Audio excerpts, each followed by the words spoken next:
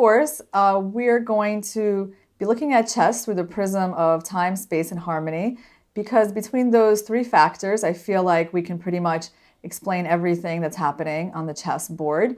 Um, we're going to be starting off with the theme of time. While we learned that um, in the beginning of the game, um, we should be going for quick development. So already, you know, what a relevant theme time is comes into play. And of course, you know, even though it's quite an obvious thing, even strong players uh, break rules regarding this theme. And we're going to see some examples of when uh, the rule of uh, regarding time is broken and how to exploit uh, a lead in time.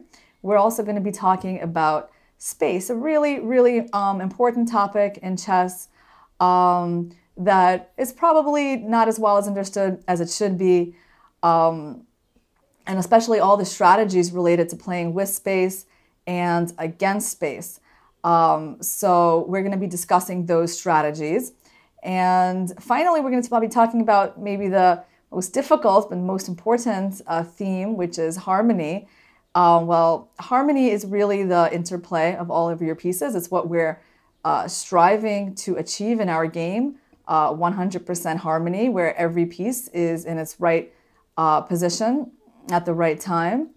And um, we're going to be looking at examples of, you know, when when it's achieved, how it's achieved, and what happens when when you're not able to achieve that. You know, uh, the the kind of defeats that can befall us when when we don't uh, set up harmony. Hi guys, in this video series, I'm going to be explaining my view of chess, um, a lot of which I got from my teacher uh, looking at chess through the prism of time, space, and harmony.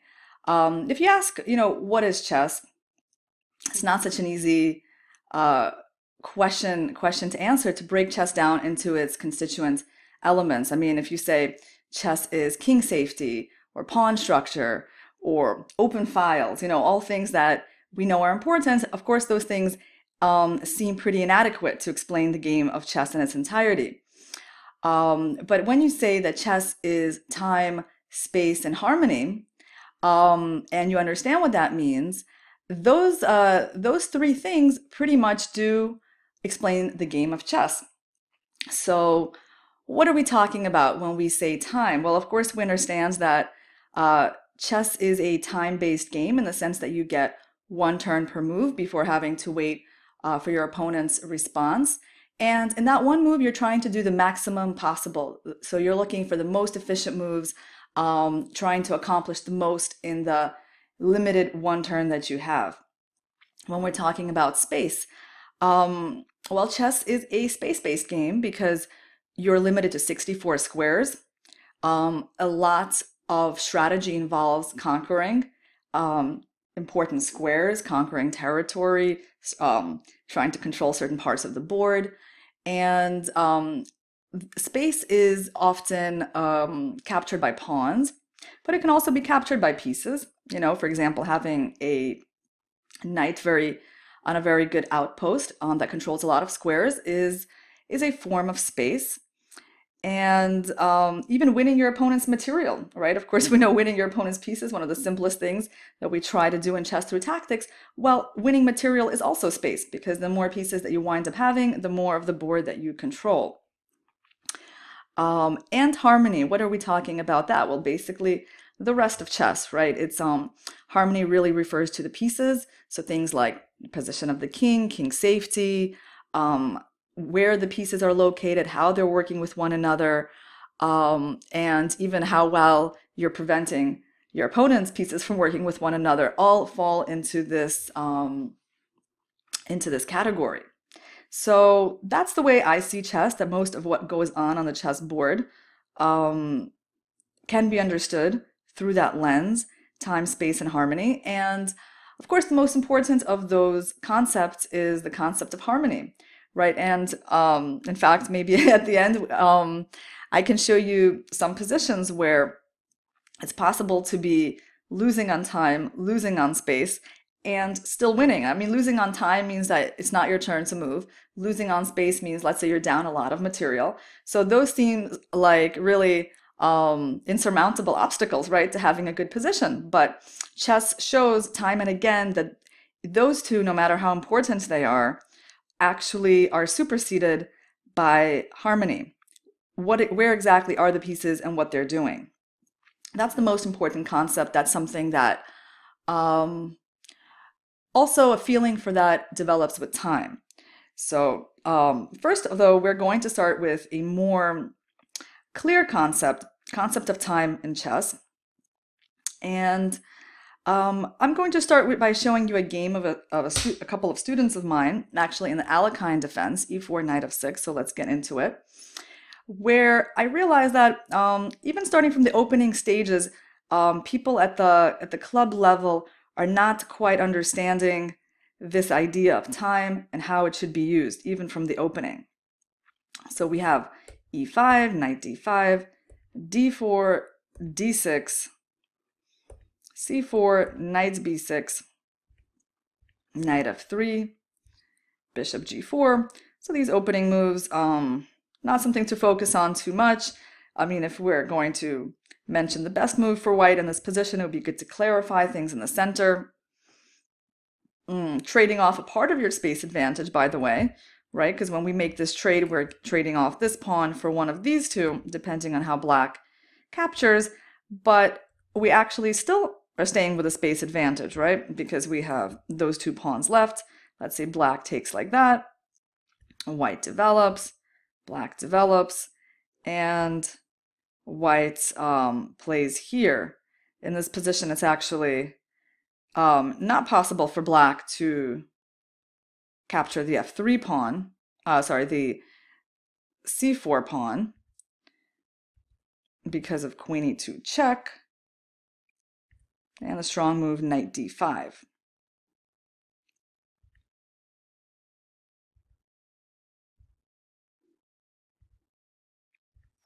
And there is a fork on c7 at the end where white's going to be up material.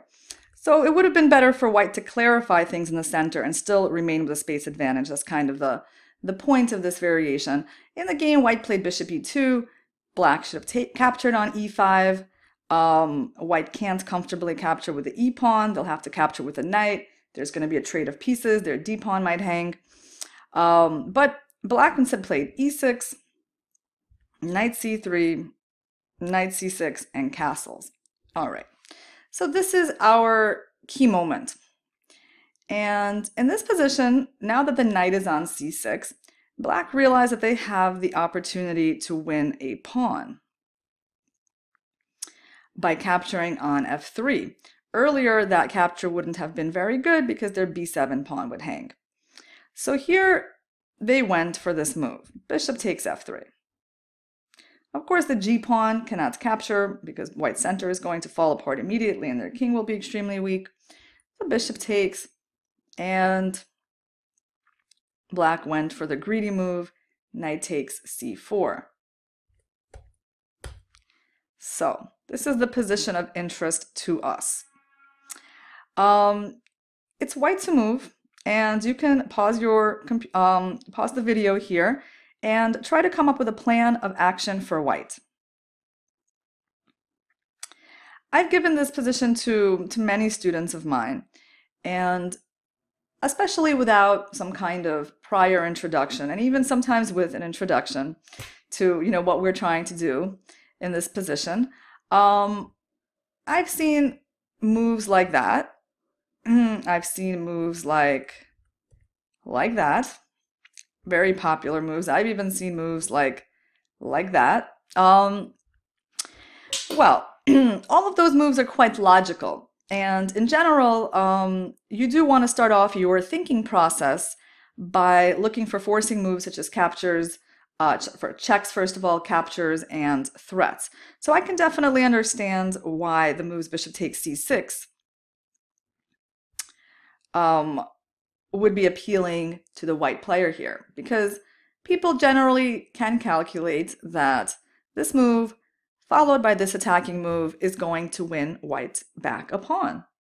And they're quite pleased with this result. Um, black has to retreat to b6, white wins back the pawn, and black has to play queen d7. By the way, I've had students in this position even try this move, a much, much inferior move compared to queen d7 um, for the reason that, you know, if you're just comparing these pieces, you can see that the queen on c6 is infinitely more powerful than the queen on d8. So why step into a voluntary pin and leave your queen so passive?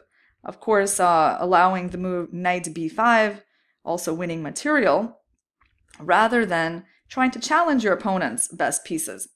It's a good strategy when you see a strong piece in your opponent's camp that you actually actively try to fight against it, not just uh, let that problem um, stay there.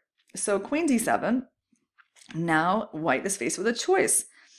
Um, kind of an unappealing choice, actually, because they can either trade queens or they'll have to waste time by retreating.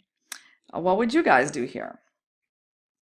Well, if you realized that the end game doesn't offer you very much and is a very comfortable end game for black, then you're correct and uh, in choosing the queen retreat.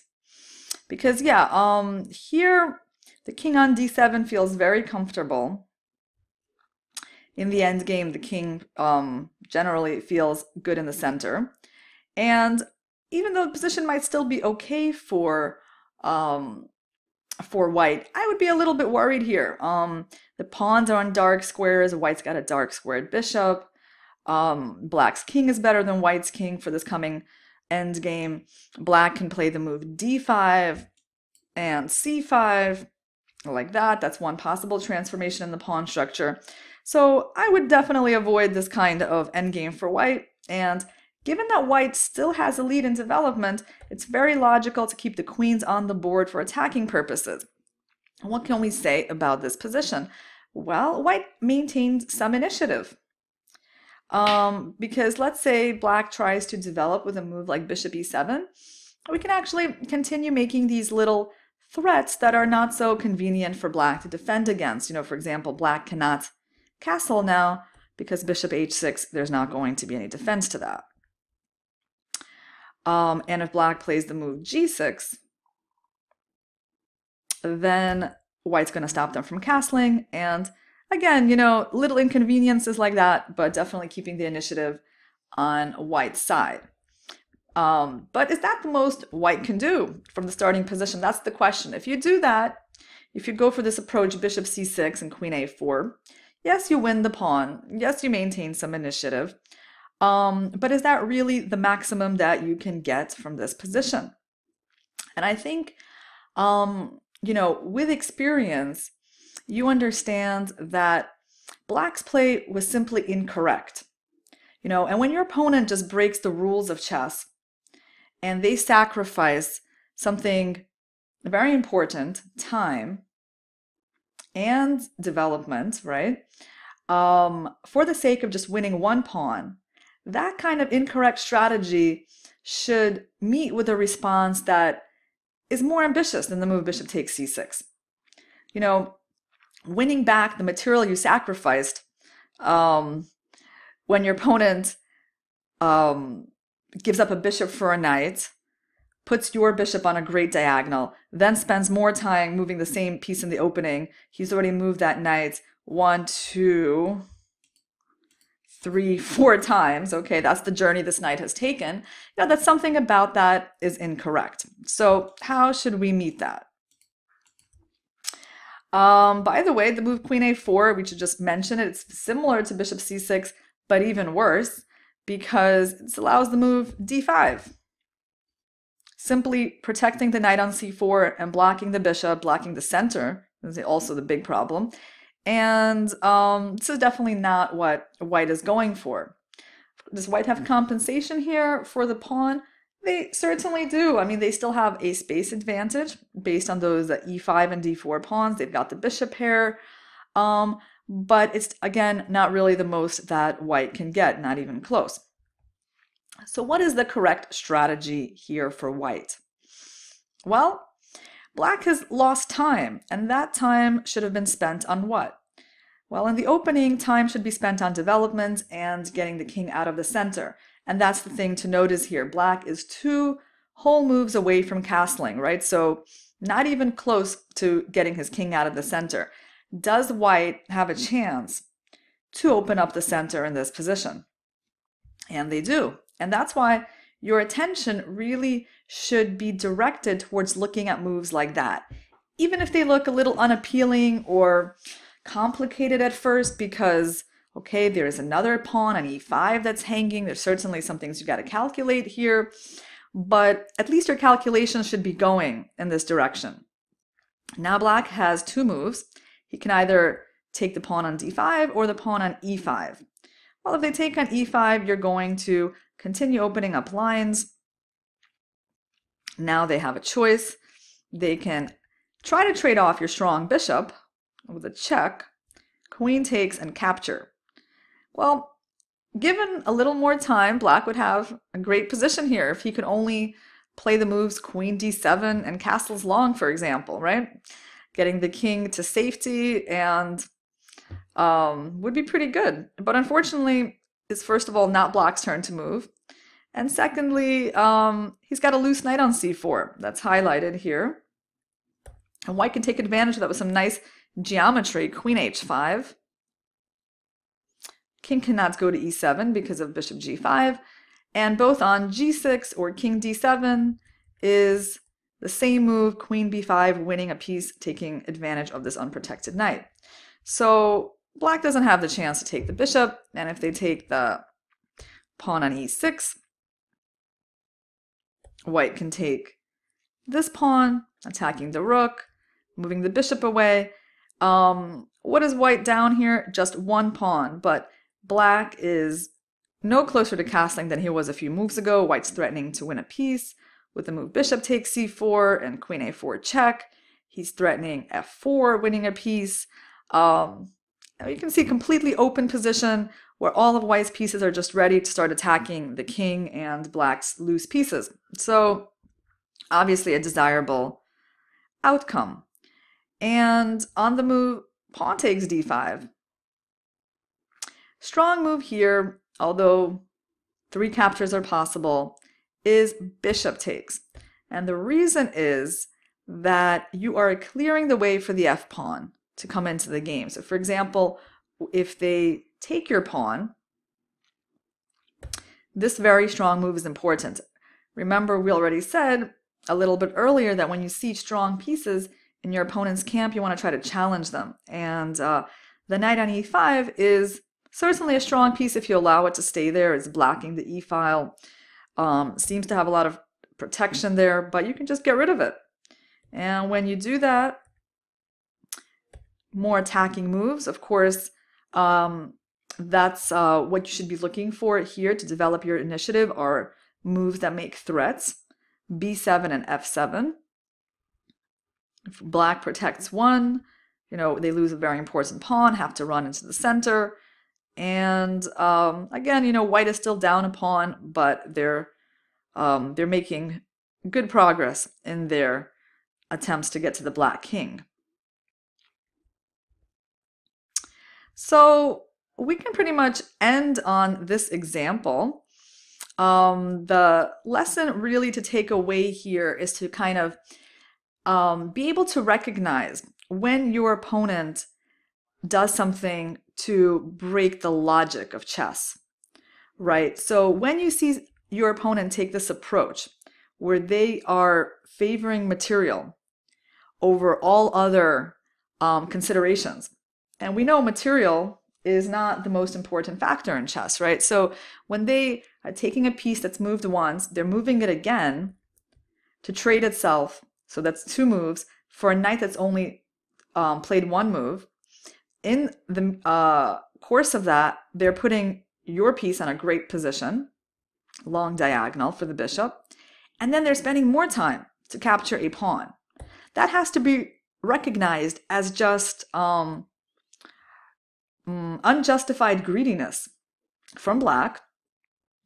And that kind of approach usually is met with punishment um, based on, okay, things like time, trying to quickly do something, because obviously the um, black can fix their position given just a couple of moves. So you got to act quickly. As you act quickly, you've also got to be um, thinking how not to let your opponent set up the harmony that he already destroyed, right? So for example, um, we're looking for attacking moves. And that's why, you know, when we're thinking about this move, this looks like an attacking move, and it's certainly a reasonable candidate move, right? But we have to make sure that we're not giving our opponents a chance to um, extricate himself from these difficulties. So when you see this move happen, d5, and you realize, okay, all your plans have come to nothing. The bishop, the position is closed. The queen's no longer attacking anything. Neither is the bishop. You see, it's the wrong way. And usually, the way to punish this is, of course, not to go for small material gains back. It's not to focus on just getting the pawn back that you lost, but it's really to see what is the problem here. The main problem is black's king in the center, two moves away from castling. Um, how to take advantage of that is opening up the center, and that's what we should be trying to calculate.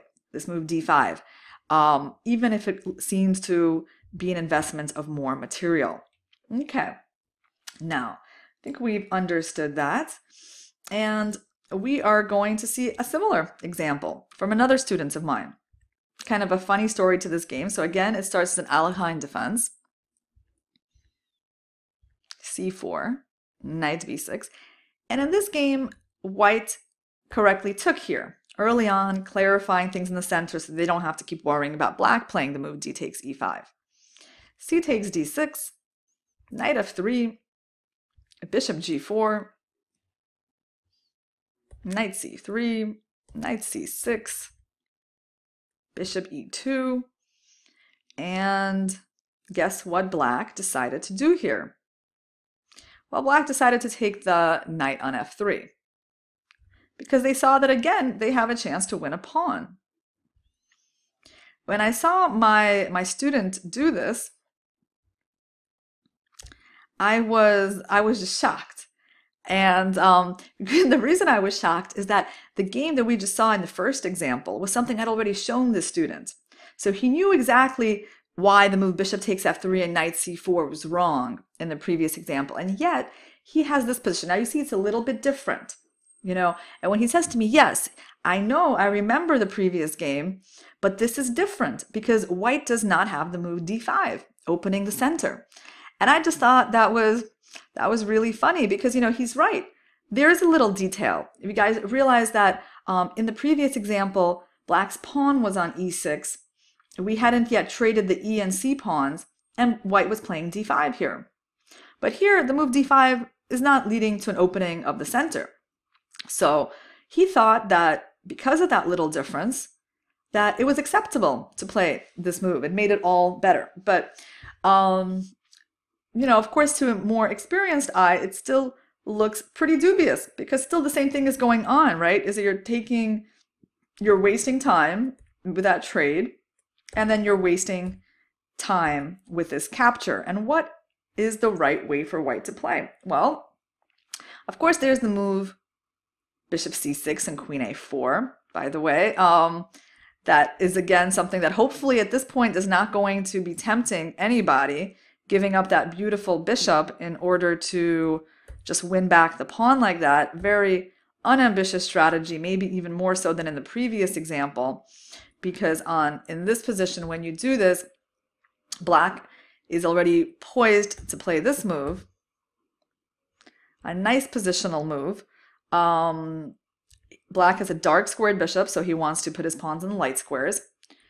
And playing e6, nice pawn structure for black. He just you know, the center is closed. So um, not much white can do to take advantage of his lead in development for now. That's why black is able to afford having the king on e8. So you definitely don't want to go and try to trade off that bishop for the knight. This move, however, is uh, pretty tempting. So if you were thinking about this move, it has its points. Um, it wins time, it wins space. The pawn on the fifth rank is pretty strong. Um, it doesn't allow black on easy developments because, um, you know, ideally, of course, in this position, black could be able to play e6 and d5. Of course, that's not really going to happen because every time you try to do that, white's going to play d5, open the center. But this move makes it impossible for that e pawn to move, so black's going to have to spend more time um, developing their bishop to g7. So something like this could happen. Right now you're threatening to win the knight with bishop c4 and queen a4. Black has two moves. He can either retreat the knight to b6 or he can play rook c8. Rook c8, you know, white can actually kind of uh, be materialistic there and win the a7 pawn in some lines. Um, on this move, white's got a couple of moves. Queen d4 is an interesting prophylactic move. There's no more move g6 because of f4, and you're going to take advantage of that pin. So you're kind of stopping black's harmonious development, making black make moves like rook g8 if he wants to move his g pawn. So queen d4 would be a good move. Another interesting move is the move a4. Whenever you see a knight on b6, um, you can try to harass it with the a pawn. It's often an effective uh, little move. g6, a5. Now, the knight cannot go back to d7, you see, where he would like to be, because this knight in the middle of the board is trapped. So he's got to go to pretty passive square. You can see white has huge compensation here. Um, bring out the queen, starts threatening the b7 pawn. Not easy to protect at all. And force the rook here. Now you can give a check. The queen cannot block because of bishop b5. And now an unpleasant attack on the rook and h8. Again, not allowing the harmonious development. No bishop g7. Um, and now if you just develop, by the time black gets to play bishop g7, well, they can't castle, right? So, um, by the way, a7 pawn is kind of a target here. The knight from c8 can't move. So white has just, I don't know, huge, huge compensation. Well, when I say compensation, we're already meaning big advantage for white for the pawn that he's lost because it's not clear how black is going to, um, what he's going to do with his king or his knights. So, if you would play the move d5, um, you'd be very justified in doing that. Of course, key, I mean, next key move is bishop e2. That is a key. You don't want to just allow the trade of pieces. One of your points here with taking space, since d5 is a space-taking move, is that um, you don't want to trade pieces because then black will um, be able to comfortably, more comfortably maneuver in the space that he has. So bishop e2 is an important move and also making threats, not giving black time for g6 because his knight is under threat. So he's got to spend more time, you know, defending it. That's why d5 is one very logical strategy. But when I was trying to, you know, explain to my student how white should play, of course, you know, I had to think a little bit about this position. And then I was like, uh-huh, well, what if we, you know, there's another idea, not taking space, course, but just developing our pieces. I mean, white cannot prove anything to black. Um, he can't prove anything about a lead in development or time unless he actually completes development himself. So he needs to start um, that with a move castles. Now, what should black do? Well, every time black plays this move, white plays the move d5. And that opening of the center is going to be pretty deadly for black. So he can't do that. So what is logical as a way to develop for black? Of course, the move g6. All right, well, it looks like black just needs a couple of moves to play bishop g7, castles, and have a perfectly good position. But remember, um, sometimes you just don't have the time to do the things that you want to in chess. White plays rook e1. So again, simple strategy, bringing pieces into the game. If you want to show that your development is better, well, or that you have an easier time of it, then that's what you got to put your pieces on good squares. So rook e1, bishop g7. Black is one move away from castling, but it's not going to happen. Bishop g5, every single move, developing move by white, and not allowing black to do what he wants to do because he cannot castle now because of the e7 pawn being lost and the loss of material. So, so far everything is flowing very smoothly. As you can see, white puts their pieces on right squares, they're developing their pieces, and they're making threats, and they're making it difficult for black to accomplish what he needs for his position. Um, which we always say we that they, those things have to go hand in hand. That when you're developing your initiative, it's um, it has to be accompanied by not letting your opponent neutralize it by accomplishing his aims. So that's why the move bishop g5 is very important, and it provokes the move f6. Not a move black wants to make, it's really a move that black has to make to protect the e7 square. And now we have to retreat. But let's see the effect that we have cre created um, by the move bishop g5, the weakening of this diagonal. Now the move that black wants to make with castles is simply not possible because of bishop d5 winning the knight. So, you know, bishop d5 is a move that you can say breaks harmony in black's position. It induces a move that black really, really doesn't want to play, weakening their light squares and blocking their bishop at the same time. So f6, bishop f4, and knight b6. Well, if you don't want to lose that knight, you should move it to a safe square. Now what? Well, black is resuming his plans to castle. It's going to happen next move. Now, if you're thinking queen b3, it's a good idea. Fortunately, it doesn't work because um, there's that central pawn hanging, and suddenly you lose not just a pawn, but the important light squared bishop and pretty much everything. So unfortunately, that doesn't work. So what to do? How to stop your opponent's um, plan of castling? Well, remember what I said about knights being on the b6 or b3, g3, g6 squares. They're very vulnerable to an attack from the side like that. Turns out that this knight on b6 is um, a very key piece for black. And this move a4 stops them from castling because once you get rid of this knight, all of black's light squares fall. He has to go here, and now this check is really strong. And now you take this pawn, and the bishop on f3 springs to life. And unfortunately for black, the tactics just do not favor him because if he takes this pawn, white takes here and not only wins the exchange, but in the end wins this extremely important pawn, getting a rook to the seventh rank. And this is winning for white. So what can black do after the move a4? Well, let's say he plays a5 himself. Now, what's been the effect of that move? It's kind of weakened this knight, right? It's removed one of his defenders. So when you go knight d5 here, pretty powerful move, leaping into the center. Of course, if black takes it, then they can forget about ever castling, and you can see um, how their light squares are creaking here. Um, very difficult to fight against that bishop on d5. Well, by the way, who gave white such an uncontested bishop? Well, it was black himself, much earlier when he decided to trade his bishop for the knight on f3. So that um, this position is really the product of that decision. It's quite a logical product.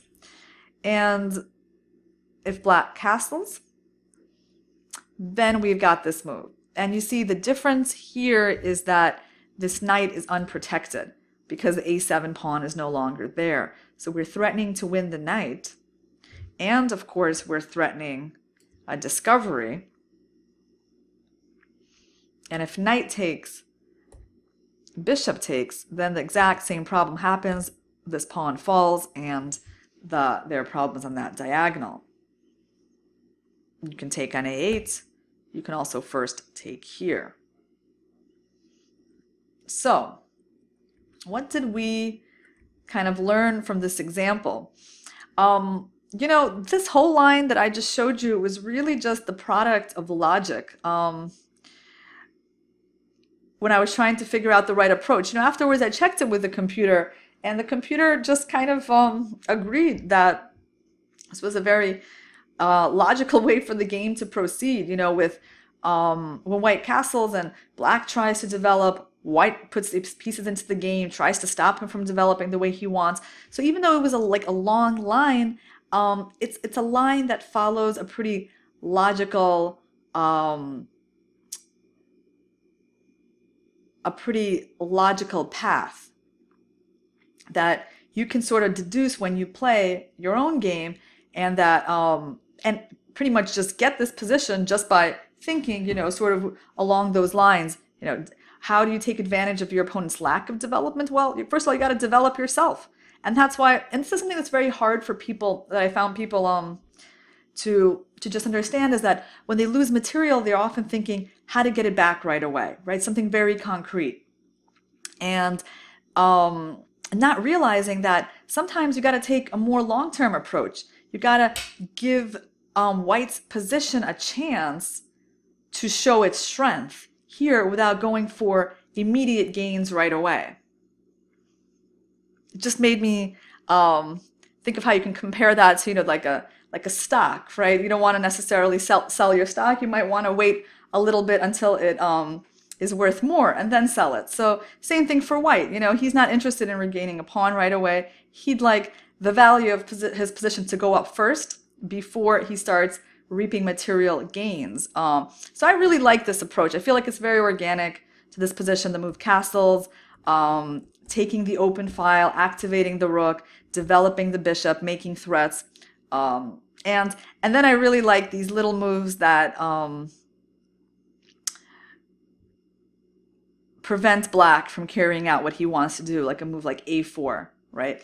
All of those moves, um, how do you think of them, guys? Well, um, by always being very focused on what your opponent wants, right? And really balancing like your own ideas with those of your opponent. That's really the key. Like if you're not thinking about that here, you know, you might make a move like, I don't know, knight d5 right away. You might play, I don't know, queen b3, not noticing your, you know, what your opponent, what his pieces are doing, like attacking the d4 pawn, right? Um, I mean, I've just had, I, am letting you know this because I've had students that this, uh, this pawn has disappeared magically from the board. Um, but if you're very aware of what your opponent wants, then and you understand what an important strategy it is to prevent your opponent's ideas, and we, we haven't talked about that yet, but we eventually will, will um, in the section on harmony, then a move like a4 is going to um, come to your mind. You know, when you will see the problems that you're you got to solve, and how to do that. Well, the a4 pawn helps you a lot. All right. And you see, like these, this part of the game is really about forcing black to weaken himself actually against his own will. The move f6 provoking that, then provoking the move a, a5, right? So black is kind of helping you out here. And then we eventually get to this position where white starts to um, reap reap the reap the fruits of his of his developments and his better pieces. So, um, that was kind of just an interesting example for me to see how, you know, my students, even knowing um, what we'd seen in the first example, still thought that this could work, right? Because it was a little bit different. But and it and it is different in an interesting way. And and it is definitely kind of harder for white to figure out what to do here, to figure out the right approach. But the lesson really is, guys, that um, you gotta rely on on your pieces, on your superior development, even in the long run. So sometimes you're just not going to be able to win in two moves, and you can't win back material as you would like in two moves, right? So you got to rely that in the long run, putting your pieces on the best squares that you're able to do and your opponent is not because that's that's kind of the difference here. White's not completely developed here either, as you see. The difference though is that white can develop. Black is not stopping him. But when black tries to do the same thing, white's able to stop him. Um, and that's the big difference between the two sides in this position. And you just got to rely on that and trust that that kind of play, you know, um, completing developments and putting your pieces on the right squares, that that is going to be the correct strategy that's going to bring you the results you want. All right. So these were a couple of examples from games of my students. And now we are going to take a look at uh, a more famous player, Mikhail Tal. Um, short game, and it is in. A, I saw it in a collection of his games. I think it was studied chess with Tal. So we're gonna take a look. E4, G6, D4, Bishop G7, Knight C3, D6, Knight F3, C6, Bishop G5, and Queen B6. All right. So that's a move I think that a lot of players will face at some points in their life. Um, you know, this kind of attack on the B2 pawn. How to deal with that? Should you play B3? Should you play Rook B1? Well, definitely not Queen C1 because I think that will lose you the D4 pawn. Um, how would you react to this attack?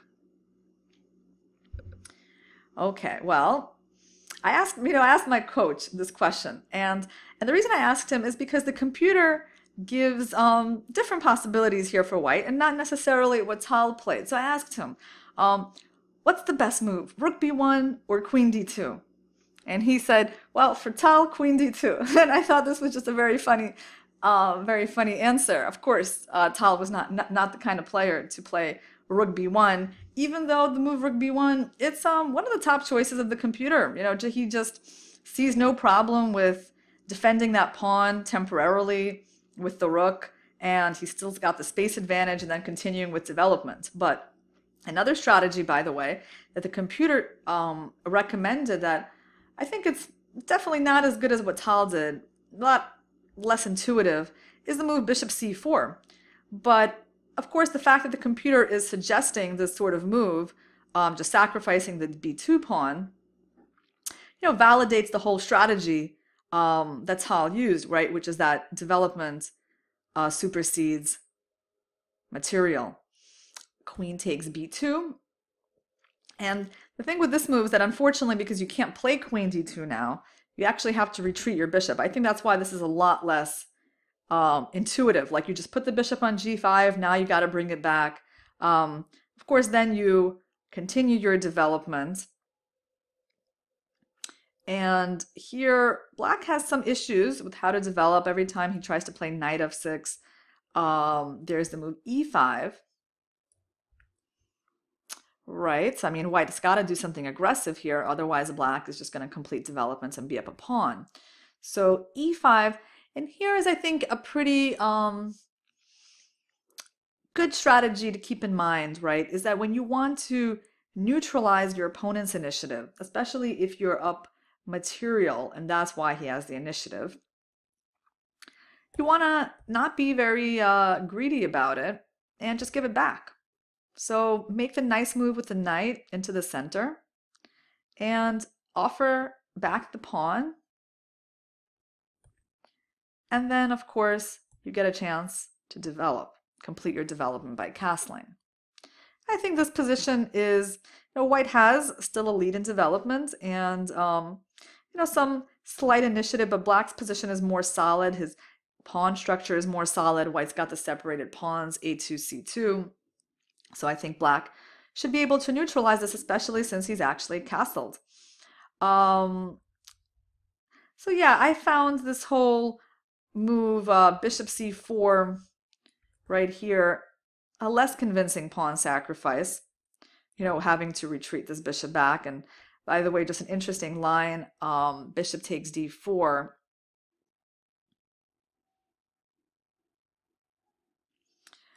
Allows white to play knight a4 and it seems to win a piece for white. Of course, it's not the end of the story because then black has this fork.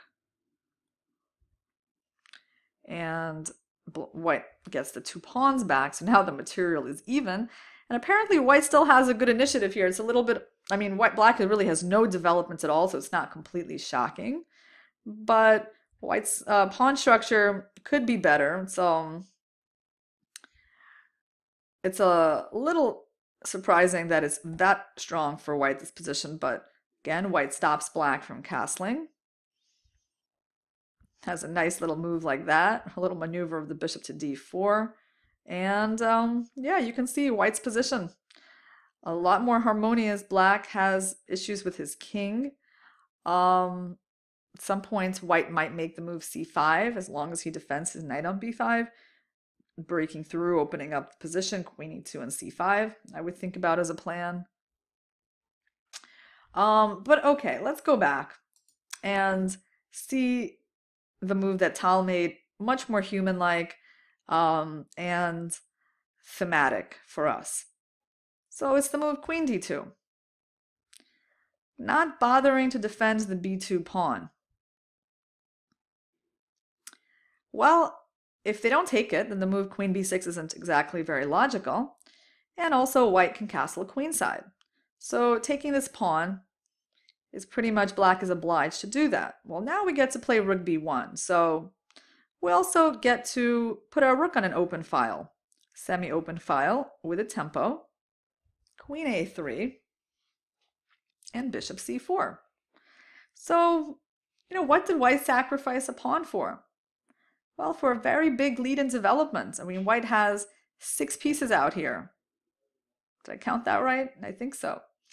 Yes, six pieces, and black's got two, the bishop and the queen. So in this position, um, black decided to retreat their queen. Of course, it cannot feel very safe on a3, always subject to attack with rook b3. I tried looking at a couple of other moves here, like for example, knight d7. Well, white has to. Again, it's a long, kind of a long-term uh, sacrifice, right? Um, that pawn, castles, knight b6, just bishop b3. Um, and there are some issues, like for example, I was trying to see maybe we can play a5 and a4. Well, okay, that weakens. Um, what does that weaken? Not the knight. In fact, I think we're we're going for the move rook um, b3, trapping the queen. We might even be able to take the knight first and then come back for the queen. So, knight f6 was another move that um, I took a look at here.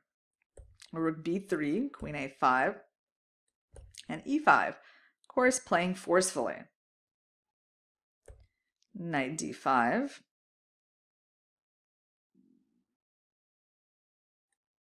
takes, takes, and castle. The problem for black is that he just cannot get his king out of the center due to tactical problems with the move knight takes d5. That wins a piece like that because of this intermediate move. So we can see that the move e5, it's a key attacking move for white.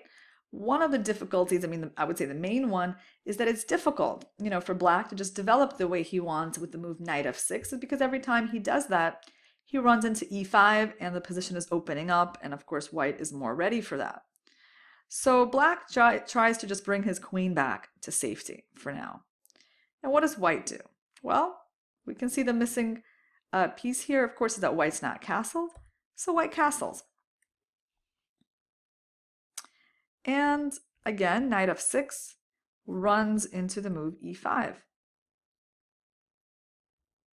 Now when you try to go into the center, actually there's a nice move here for white, not even taking with the knight, which is possible, but taking with the bishop, and then just winning the d5 pawn. And that's a very important pawn because it gives the knight an amazing position on d5, threatening the fork on c7.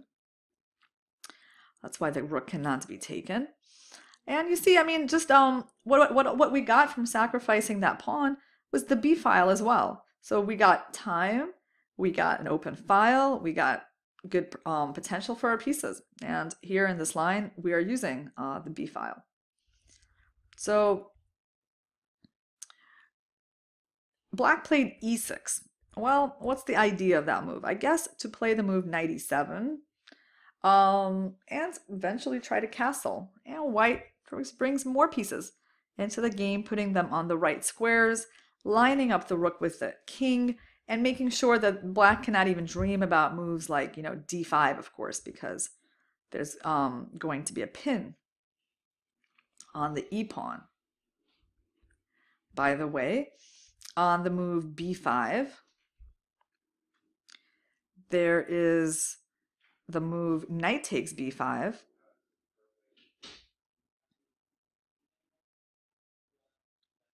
Queen takes d2. Knight takes d6. King d7. Bishop takes. It's kind of amazing, I would say. We're in the end game and your white is losing a piece, but um, absolutely winning. Bishop f4. And the knight on b8 is hanging, and black tries to block, you just take and you win anyway. So, I mean, compare the mobilization of the two sides here. White, every single piece in the game, all on good squares, and black's most of his army is just um, still in the barracks. So, so black cannot, you know, start lashing out with moves like b5 because the tactics just happen to favor white. So that was the move knight takes b5 that we saw, and uh, temporary piece sacrifice by white. So what did black play? Well, he played a6. And what's the idea of that move? Maybe he's, oh, I guess, trying to play the move b5, over protecting that square. It happens to weaken this square, and white can take advantage of it in a really unexpected way with the move e5. So we've seen this move a lot. Of course, white has to open the position somewhere, so he should be looking at moves like that. Um, but in this case, it looks like, isn't black just gonna keep the position closed? Well, take a look at this amazing move, knight e4, heading for the d6 square. But doesn't that lose a piece? Queen takes, knight escapes with a check, king goes to protect the bishop, and now just capture back. So in this position, of course, white's pieces are wonderful, except his bishop on c4 is hanging, but he can actually just lose it and be winning. Because uh, this square has been weakened to such an extent, there's no way to prevent knight b6, also knight f7 is hanging. And again, you can see 100% mobilization in white's army and not the same for black. So that would have been a pretty cool move. Um, Tal played something else. He played the move bishop f4, attacking that pawn, and trying to provoke it to move. So mm, the queen really should have moved somewhere to d8. I mean, it was time to just take the queen back to safety. Um, after which, white actually should try to open up the game with this move d5. They're finally ready for it with, you know, all of their pieces in play. Um, and for example, if black plays this move, we take, they've got to take back because we're threatening on b7. Um, let's see, knight takes. So, of course, white keeps making moves with threats, forces the knight to quite a bad square on the side of the board that moves their bishop back. And even though black gets to develop here, I mean, that's already a pretty good thing, um, they've got a lot of problems with their position. Um, the knight on h6 isn't very good, and the computer actually liked the move h3 here. Look at that, taking time out just to prevent that knight from getting into the game via g4. I see he's already, um, he's starting to think about what black wants to do and taking the time to stop it because um, nothing too effective that white can do here for the moment. So what's going on in this position? Well, white wants to play knight d5, knight c7. Um, black has uh, issues with the knight on h6, the bishop on g7, and the bishop on c8. So white has a very nice um, compensation here. And let's see, if they take first on d5, you can take. And on e5, play this nice move knight e4, setting up a sacrifice on d6. Like for example, if they go knight e7, very logical move. There's already this kind of move, and knight takes. and knight c6, um, winning the knight on e7. So that's how the game really should have went. I mean, black should have played this move queen d8 here, or queen c7. But queen c7, I have a feeling Tal was ready to play this move and use the position of the queen opposite the bishop with this kind of sacrifice, very Tal-like, opening up lines and simply getting to the black king. Of course, when you see a king like that, uh, you're not in a big hurry to mate him. You know, he's the very he's going to be a target for a while. Let's see what happens if the king goes to f8. Well, let's take a look at checks. Um, and I just saw one, queen b4, a very difficult check to uh, defend against. So that looks like it's going to be mate. And if king goes to f6, you can play queen e3, threaten queen e5 mate. And here, you can even just take this bishop, take all of black's pieces. So here we are in this position. And instead of moving the queen back to defend the d6 pawn, black tried to play e5. Uh, seems reasonable, defending the pawn with a tempo. But unfortunately, with that little development, opening up the game was a bad idea. So Tal took, took, and of course did not even probably think about moving his bishop he found a way into black's position immediately. Beautiful centralizing move, queen d6, attacking the e5 pawn. And a very nice move here that if the bishop is taken, you can actually pause yourself and think about um, think about what white was planning here. A really nice move. To be honest, I didn't see it when I was um, kind of trying to figure out this game, I was thinking about the move e5 here. I thought about e5 and e6 and e5 and knight e4 to f6, and that's not bad as a you know much worse second option. Um, but white has the beautiful winning move knight d5, threatening knight c7 mate. And you know I like just the way this move utilizes the rook on e1. That you know Tal put it there for a reason, right? And here you can see that it um it was not just some random abstract move that when you put your pieces on the right squares um eventually they're going to that's going to pay off so here the opening of the e file is deadly for black of course all white's pieces are unleashed on him and that's the reason that um, after queen d6 the bishop cannot be taken so Tringov took the knight and white threatens checkmate. Black blocked it. And the final um, blow to black's position. Of course, we should always be checking all the checks, captures, and threats, especially in sharp positions like this. Um, check, king takes, knight comes in, king goes here, another check, and black resigned in this position. Well, they can't go to f8 because of queen f7.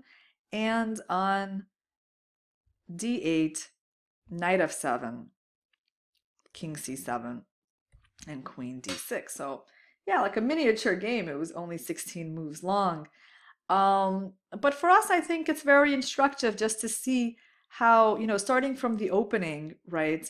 Um, really the right strategy you know the opening is for piece development right that's the thing to remember it's not you know no one ever said the goal of the opening is to win a pawn right? To win a, a pawn at the at the um, expense of your development. And that's what we saw in this game. And the, um and Tal showed why that's not a correct strategy. So um i would just encourage you guys to to uh if you at least the opening part through this prism you know um, is your opponent wasting too much time? You know, um, are the advantages that you're going to accumulate in time and development are they going to be worth the small amount of material that you may be giving up? And um, and if they are you shouldn't be afraid to sacrifice it and let your opponent spend spend his moves taking that material while you mobilize your pieces